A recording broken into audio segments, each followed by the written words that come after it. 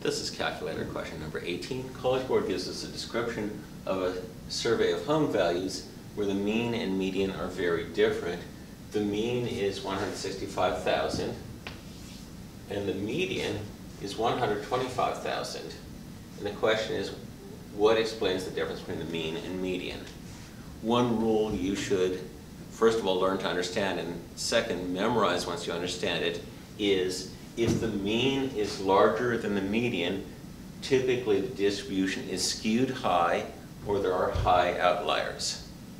Unusually high values will pull the mean up relative to the median. If, in contrast, and that's not what we see here, the mean is lower than the median, then the, the distribution is either skewed low or has unusually low outliers.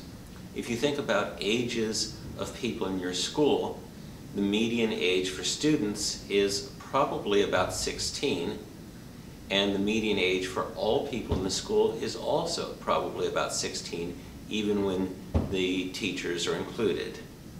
However, the mean, because many teachers, let's face it, we're older than dirt.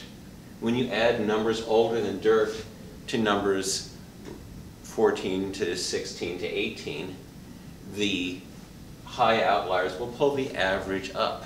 So let's take five people, a 16, a 16, another 16, a 17, and let's throw in a 58. This is my fourth period class with the seniors gone. The median is obviously 16. The mean, if I add up 16 plus 16 plus 16 plus 17 plus 58, and I divide by 5, I get the mean is 24.6 years. So that one high outlier pulls the mean up well above the median. If you memorize this example and just figure the mean and median for a situation like this, you'll say, oh, I see. High values pull up the mean a lot. They don't have much effect on the median. Now looking at the answer choices, choice A, homes have values that are close to each other. That would tend to give you mean and median that are close to each other. A few homes are valued much less than the rest. That would pull the mean down less. If we were looking at the mean and median ages for children in my school, the median is probably 16, as I said. The mean for children, we have a small number of toddlers in this school. We have a daycare center for primarily the children of teachers, I believe. And that small number of low outliers would pull the mean down. There are a lot more teachers than there are toddlers. So when you include adults, the mean is pulled up. But just among children, the low outliers pull the mean down. So choice B is wrong.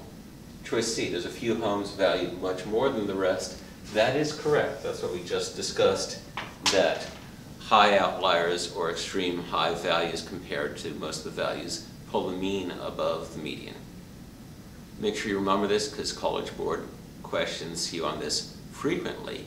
They often ask about mean and median and in particular what outliers or extreme values do to the mean and to the median.